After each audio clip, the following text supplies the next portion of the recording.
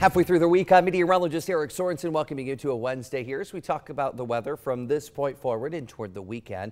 This morning was enough to set some record lows. Look at that, 51 in Burlington. Same story in Moline. So these are record lows, the coldest July 16th that we have ever had on record. We're going to be chilly again tomorrow, but look at the change. We go from cold to hot, upper 80s coming next week for several of the afternoons. No big weather systems in the next week or so, and that means it's good car wash weather with just isolated storm risk starting on Sunday. A little bit more sunshine for today, still pretty cool, 74 degrees the forecast high temperature.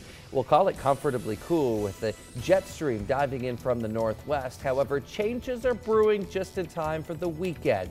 You'll see how things are going to change as the warmth builds and the chance of thunderstorms arrives Sunday.